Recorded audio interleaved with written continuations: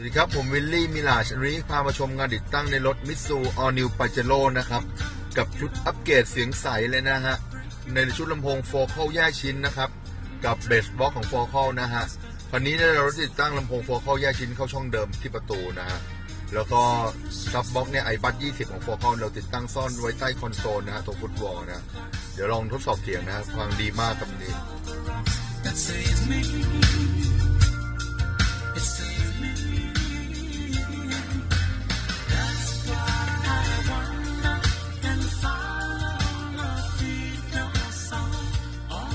โอ้โหเสียงดีจริงครับ รายละเอียดเสียงใสนะฮะ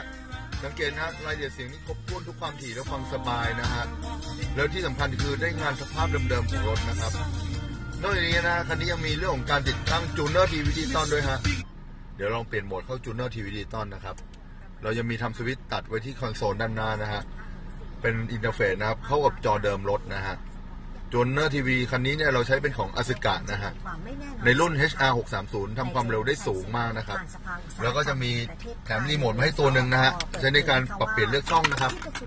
รีโมทตัวนี้เนี่ยเราจะใช้เลือกในการปรับเปลี่ยนช่องได้เลยนะฮะ เนี่ยฮะเสียหายจากเหตุไฟหรือว่ารวมถึงเราจะกดเลือกช่องจากพวงมาลัยตรงนี้ก็ได้นะฮะ เนี่ยครับ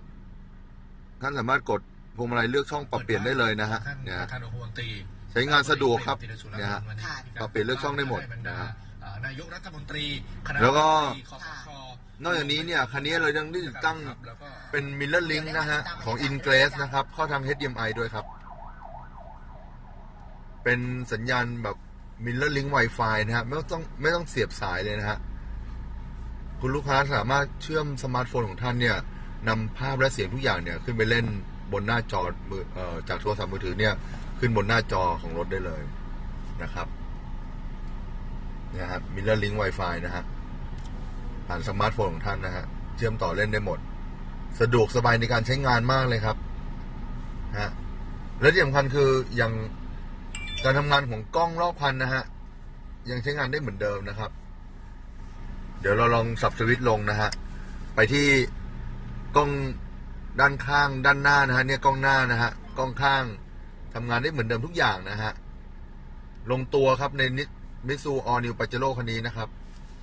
ครับท่านที่สนใจงานติดตั้งดีๆแบบนี้นะฮะติดต่อที่ผมวิลลี่นะครับ ที่เบอร์โทร 086 956 659 นะครับ ขอบคุณมากนะครับ วันนี้สวัสดีครับ